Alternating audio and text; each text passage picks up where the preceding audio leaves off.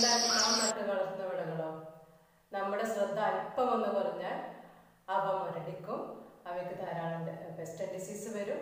അങ്ങനെ അവ നശിച്ച് പോകും എന്തുകൊണ്ടാണ് കാട്ടിലെ മരങ്ങൾ ഇങ്ങനെ നന്നായിട്ട് വളരുന്നത്? കാരണം നമുക്ക് എല്ലാവർക്കും അറിയാം കാട്ടിൽ ധാരാളം ജൈവാംശമുണ്ട്. അതുകൊണ്ട് തന്നെ ഈ ചെടികൾക്ക് ആവശ്യമുള്ള എല്ലാ പോഷക മൂലകങ്ങളും ആ മണ്ണിൽ നിന്ന് ലഭിക്കും. അപ്പോൾ അവ നന്നായിട്ട് വളരും. എങ്ങനെയാണ് കാട്ടിൽ ഇത്രയധികം ജൈവാംശം ഉണ്ടാകുന്നത്? മരങ്ങളിൽ നിന്നും വീഴുന്ന ഇലകൾ അഴുകിപ്പൊടിഞ്ഞ് അവ മണ്ണിന്റെ ഭാഗമായി മാറും. ഇങ്ങനെ ഇവ അഴുകുന്ന സമയത്ത് ഇവ നേരത്തെ ആഗിരണം ചെയ്ത് സംഭരിച്ചു വെച്ചിട്ടുള്ള പോഷക മൂലകങ്ങളെല്ലാം തന്നെ മണ്ണിലേക്ക് തന്നെ തിരികെ എത്തും. ഈ പോഷക മൂലകങ്ങൾ വീണ്ടും ചെടികൾക്ക് ആഗിരണം ചെയ്യാനായിട്ട് സാധിക്കും.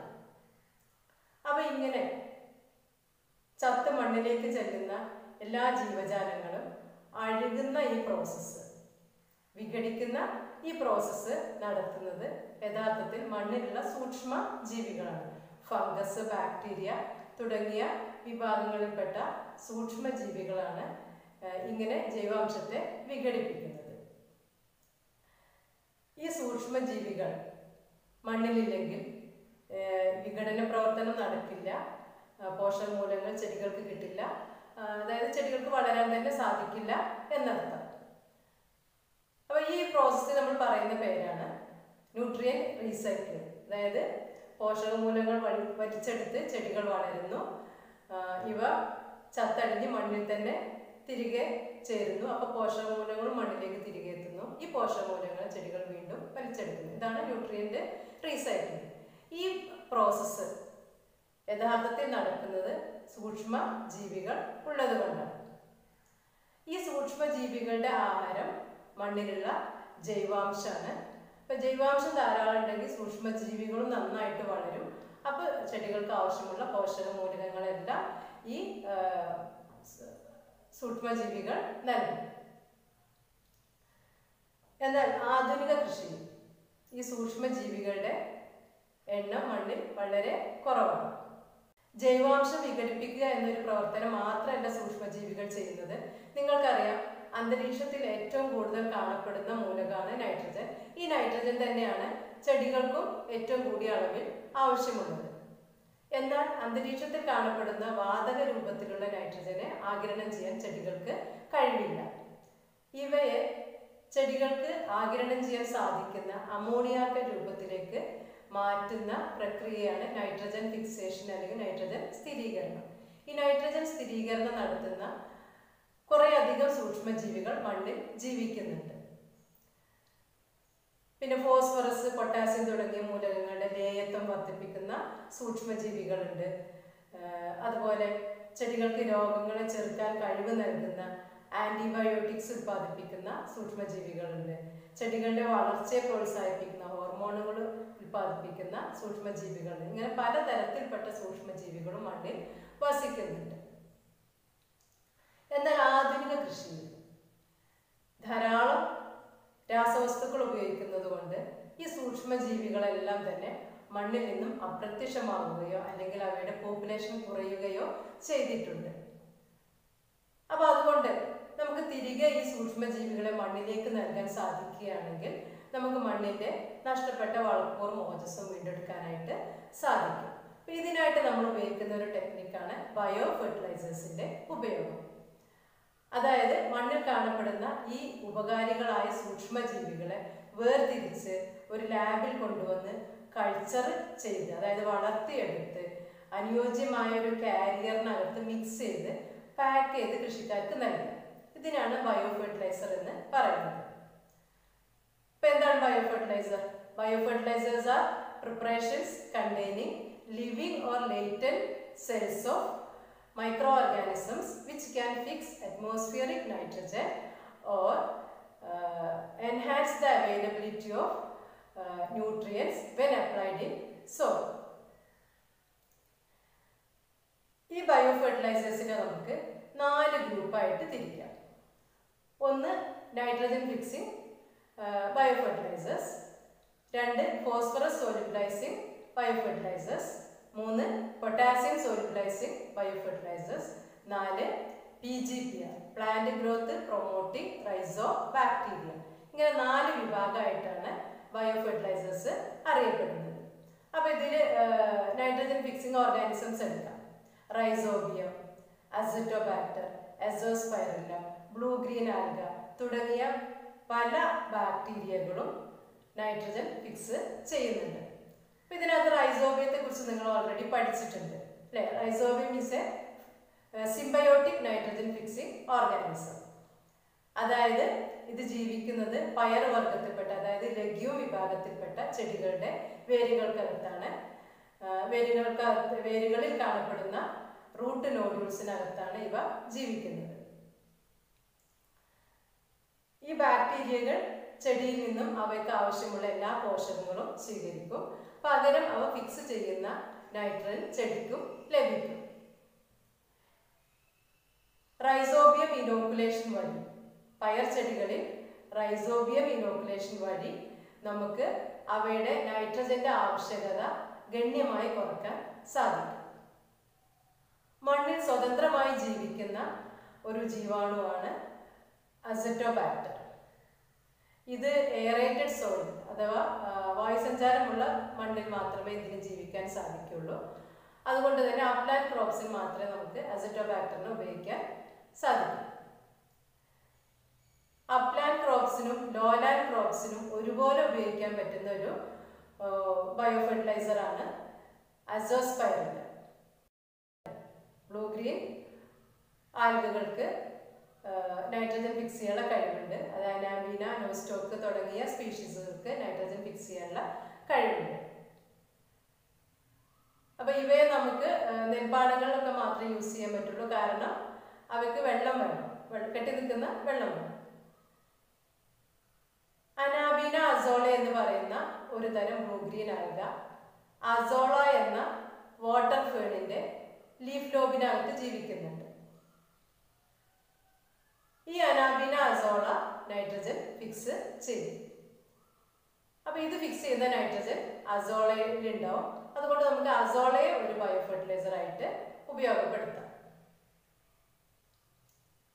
ഇനി ബയോ ഫെർട്ടിലൈസേഴ്സിന്റെ രണ്ടാമത്തെ വിഭാഗമായിട്ടുള്ള phosphorus solubilising micro organisms phosphorus solubilising organisms മണ്ണിലുള്ള അനേക രൂപത്തിലുള്ള ഫോസ്ഫറസ് സംയുക്തങ്ങളെ ചെടികൾക്ക് ആഗിരണം ചെയ്യാൻ പറ്റുന്ന ലേയ രൂപത്തിലേക്ക് മാറ്റുകയാണ് ചെയ്യുന്നത്.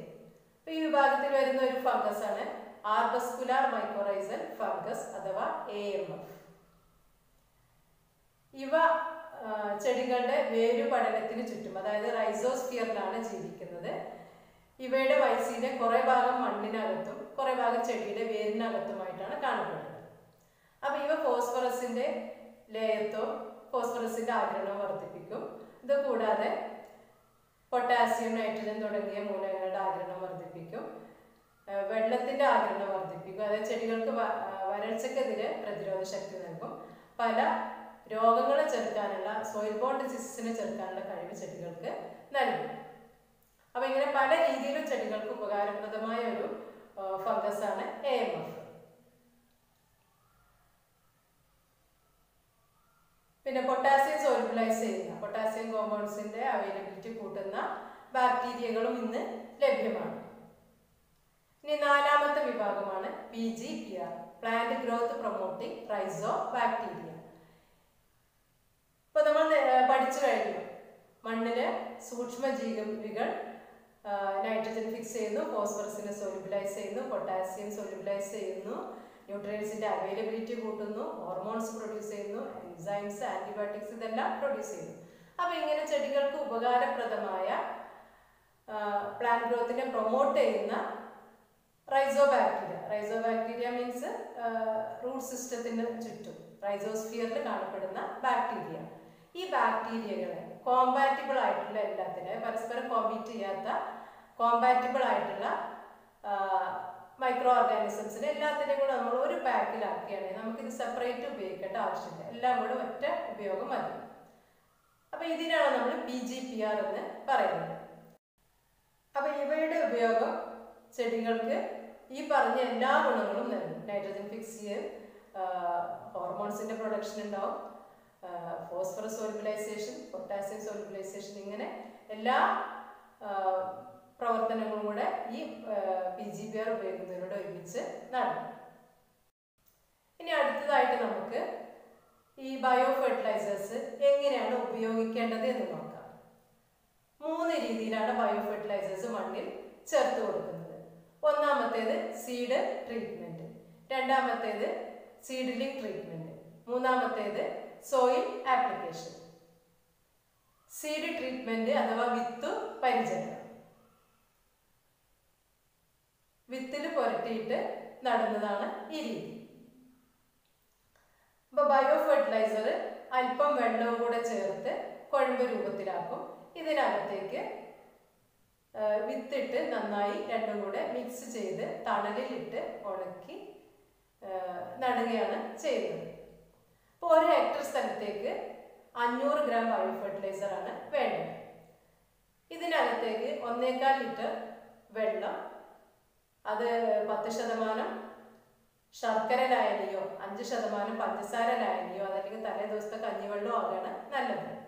ഒന്നേക്കാൽ ലിറ്റർ വെള്ളവും കൂടെ ചേർത്ത് അത് കുഴമ്പ് രൂപത്തിലാക്കുക. ഇതിനകത്തേക്ക് ഈ ഒരു ഹെക്ടർ സ്ഥലത്തേക്ക് ആവശ്യമുള്ള വിത്തിട്ട് നന്നായി യോജിപ്പിക്കുക. വിത്തിൽ നന്നായിട്ട് ബയോ ഫെർട്ടിലൈസർ പുരട്ടിക്കഴിഞ്ഞാൽ അതിനെ ഒരു ചാക്കിൽ തണലുള്ള സ്ഥലത്ത് വിരിച്ചിട്ട് അതിന്റെ ഈർപ്പം വലിച്ചെടുക്കുക എന്നിട്ട് അന്ന് തന്നെയോ അല്ലെങ്കിൽ പിറ്റേ ദിവസമോ അത് വെതക്കണം അല്ലെങ്കിൽ നടണം.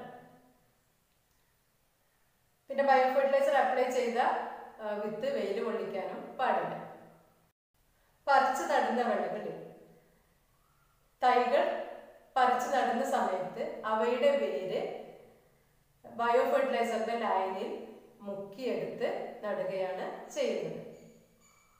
ഇതിനായി അഞ്ഞൂറ് ഗ്രാം ബയോ ഫെർട്ടിലൈസർ രണ്ടര ലിറ്റർ വെള്ളം ചേർത്ത് ലായനി തയ്യാറാക്കുന്നു. തൈകളുടെ വേരുകൾ ഈ ലായനിയിൽ ഇരുപത് മിനിറ്റ് നേരം മുക്കിയെടുത്ത ശേഷം നടുന്നു.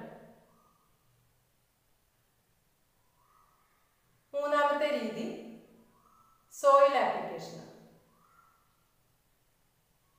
ഒരു ഹെക്ടർ സ്ഥലത്തേക്ക് ഒന്നോ രണ്ടോ കിലോഗ്രാം ബയോ ഫെർട്ടിലൈസർ ആണ് നമുക്ക് വേണ്ടി വരിക. ഈ ബയോ ഫെർട്ടിലൈസർ കിലോയ്ക്ക് ഒരു കിലോ ബയോ ഫെർട്ടിലൈസറിന് ഇരുപത്തഞ്ച് കിലോഗ്രാം ജൈവവളം എന്ന തോതിൽ രണ്ടും കൂടെ നന്നായി കൂട്ടിയോജിപ്പിച്ച് കൃഷിസ്ഥലത്ത് വിതറി കൊടുക്കുക അല്ലെങ്കിൽ ചെടികളുടെ ചോട്ടിൽ ഇട്ട് കൊടുക്കുക വൃക്ഷങ്ങൾക്കാണെങ്കിൽ ഇരുപത്തഞ്ച് മുതൽ അമ്പത് ഗ്രാം വരെ ബയോ ഫെർട്ടിലൈസർ ആണ് ഒരു മരത്തിന് അപ്ലൈ ചെയ്യേണ്ടത്. നമ്മൾ റൈസോബിയം അപ്ലൈ ചെയ്യുന്നത് സീഡ് ട്രീറ്റ്മെന്റ് എന്ന മെത്തേഡ് വഴി മാത്രമാണ്. അസറ്റോബാക്ടർ അസോസ്പൈറിലം ഫോസ്ഫോബാക്ടീരിയ ഇവയൊക്കെ നമുക്ക് മൂന്ന് രീതിയിലും അപ്ലൈ ചെയ്യാം. ബി ജി എ ഇനോക്കുലം നമുക്ക് വാങ്ങാൻ കിട്ടും. അത് നമ്മൾ നേരിട്ട് പാടത്ത് വെതറി കൊടുക്കുകയാണ് ചെയ്യുന്നത്. അതുപോലെ അസോള ഫ്രഷ് അസോള കളക്ട് ചെയ്ത് ഒരു പത്ത് ടൺ അസോള ഒരു ഹെക്ടർ സ്ഥലത്തേക്ക് ജൈവവളം കൊടുക്കുന്ന പോലെ കൊടുക്കുകയാണ് ചെയ്യുന്നത്. ഇനി ഈ ബയോ ഫെർട്ടിലൈസേഴ്സ് ഉപയോഗിക്കുന്നതുകൊണ്ടുള്ള അഡ്വാന്റേജസ് ശ്രദ്ധിക്കണം നമുക്കൊന്ന് നോക്കാം. അപ്പൊ നമുക്കറിയാം ഈ സൂക്ഷ്മജീവികൾ മണ്ണിൽ ഉള്ളവ തന്നെയാണ്. അപ്പൊ അതുകൊണ്ട് തന്നെ അവ ഇക്കോ ഫ്രണ്ട്ലി ആണ്. ഒരു ഫോറിൻ മെറ്റീരിയൽ അല്ല അതുകൊണ്ട് അവ ഇക്കോ ഫ്രണ്ട്ലി ആണ്. പിന്നെ വളരെ കുറച്ച് ജീവാണുവളം മാത്രം മതി നമുക്ക്. അപ്പോൾ അതുകൊണ്ട് തന്നെ അത് കോസ്റ്റ് റെഡ്യൂസ് ചെയ്യാൻ സാധിക്കും. പിന്നെ കെമിക്കൽ ഫെർട്ടിലൈസേഴ്സിന്റെ ഉപയോഗം നമുക്ക് അതുവഴി ഗണ്യമായി ഒരു ഇരുപത്തഞ്ച് അമ്പത് ശതമാനം വരെയൊക്കെ നമുക്ക് കെമിക്കൽ ഫെർട്ടിലൈസേഴ്സിന്റെ ഉപയോഗം കുറയ്ക്കാൻ ബയോ ഫെർട്ടിലൈസേഴ്സ് വഴി സാധിക്കും. പിന്നെ കോസ്റ്റ് എഫക്റ്റീവ് ആണ്. കുറച്ച് ഉപയോഗിച്ച് കഴിഞ്ഞാൽ നമുക്ക് ഇത്രയധികം ന്യൂട്രിയൻസ് ലാഭിക്കാൻ സാധിക്കുന്നുണ്ട്. പിന്നെ ചെടികളുടെ വളർച്ചയെ അത് പ്രോത്സാഹിപ്പിക്കും. ഈൽഡ് ഒരു ട്വന്റി ഫൈവ് പെർസെന്റേജ് വരെ ഈൽഡ് കൂട്ടാൻ അത് സഹായിക്കും. അതുപോലെ രോഗ കീടങ്ങൾക്കെതിരെയുള്ള പ്രതിരോധ ശക്തി വർദ്ധിപ്പിക്കാൻ എ എം എഫ് പോലെയുള്ള ബയോ ഫെർട്ടിലൈസേഴ്സ് സഹായിക്കും. പിന്നെ മണ്ണിന്റെ നാച്ചുറൽ ഫെർട്ടിലിറ്റി റീഗെയിൻ ചെയ്യാനത് സഹായിക്കും. അപ്പൊ ഇത് നമ്മൾ ബയോ ഫെർട്ടിലൈസേഴ്സ് ഏതൊക്കെയാന്ന് പഠിച്ചു അവയുടെ ഉപയോഗ രീതി പഠിച്ചു അവയുടെ ഉപയോഗം കൊണ്ടുള്ള അഡ്വാന്റേജസ് പഠിച്ചു. ഇപ്പൊ bio fertilisers nitrogen fixers phosphorus solubilisers potassium fix solubilisers and P G